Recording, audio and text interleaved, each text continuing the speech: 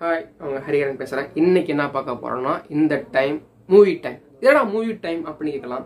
வெள்ளிக்கிழமையில எந்த படம் பெஸ்ட்டாக வருதோ அந்த படத்தை பற்றி ரிவ்யூ பண்ணுறது தான் இந்த மூவி டைம் இன்னைக்கு என்ன படம் பார்க்க போகிறோம்னா ஃப்ரெண்ட்ஷிப்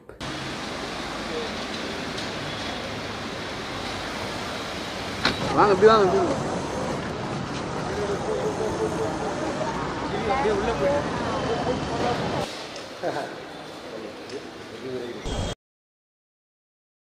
ஃப்ரெண்ட்ஷிப் தமிழ் சினிமாவில் ஹர்பஜன் சிங் ஒரு ஹீரோவா லாஸ்லியா பாலா அப்புறம் சதீஷ் அப்புறம் இதுக்கு துணையாக இருக்கிற ஆக்ஷன் கிங் அர்ஜுன்.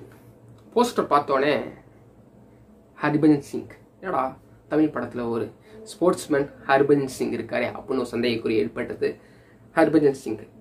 தமிழ் ஆக்டர்ஸ்லாம் வந்து பார்த்து ஆச்சரியப்படுற அளவுக்கு இவரோட பர்ஃபார்மன்ஸ் எல்லா இடத்துலையும் செமையாக இருக்குது அது ஆக்டிங்காக இருக்கட்டும் ஒரு ஃபைட் சீனாக இருக்கட்டும் ஒரு எமோஷனல் சீனாக இருக்கட்டும்.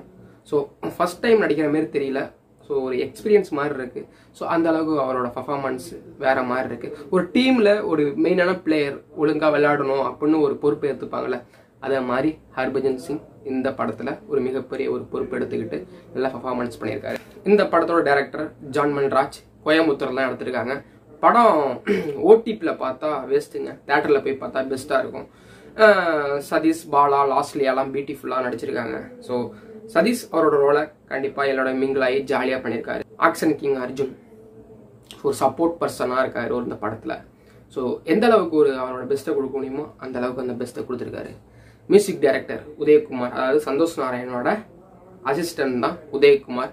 ஒரு சாங்காக இருக்கட்டும் ஒரு அர்ஜுன் வரும்போது அந்த லுக்கோட பின்னாடி பிஜிஎம்மாக இருக்கட்டும் அந்த அளவுக்கு ஒரு பர்ஃபார்மன்ஸ் பண்ணியிருக்காரு பெஸ்ட்டாக தான் பண்ணியிருக்காரு ஸோ இந்த படத்தோட கருத்து மெயினாக அந்த படத்தோட கருத்து என்னன்னா மெக்கானிக்கல் டிபார்ட்மெண்ட் நம்ம மெக்கானிக்கல் டிபார்ட்மெண்ட் அந்த மெக்கானிக்கல் டிபார்ட்மெண்ட்னா மற்ற டிபார்ட்மெண்டோட சண்டை அதை மாதிரி போயிட்டு இருக்கும்போது அந்த மெக்கானிக்கல் டிபார்ட்மெண்ட்டை திடீர்னு ஒரு பொண்ணு என்ட்ரு ஆகிறா. அதான் லாஸ்ட்லியா பியூட்டிஃபுல்லாக ஸோ அதுமாரி என்ட்ரு ஆகும்போது எல்லாருக்கும் ஒரு ஆச்சரியமாகவும் இருக்குது ஒரு சந்தோஷமாகவும் ஒரு மூணு வருஷத்துக்கு முன்னாடி ஒரு படம் வந்திருக்கும்ல மூணு வருஷத்துக்கு பின்னாடி ஒரு படம் வந்திருக்கும்ல குயின்னு சொல்லிட்டு.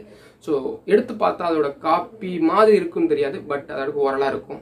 ஸோ இதே மாதிரி இருக்கும்போது மெக்கானிக்கல் டிபார்ட்மெண்ட்டில் ஒரு கெல் என்ட்ரு ஆகிறா அவர் இப்போ தான் லாஸ்ட்லியா இந்த மாதிரி மெக்கானிக்கல் டிபார்ட்மெண்ட்டில் ஒரு பொண்ணு அதாவது லாஸ்ட்லியா வந்து என்ட்ரி ஆகும்போது எல்லாரும் வந்து சந்தோஷமாக ஜாலியாக உற்சாகமாக இருக்காங்க. ஹரிபஜன் சொல்கிறாரு not love love only friendship அப்படின்னு சொல்லிட்டு ஒரு ஒரு கண்டிஷன் போறாரு. லாஸ்ட்லி பின்னாடி ஒரு மிகப்பெரிய ஒரு சோகம் இருக்கு.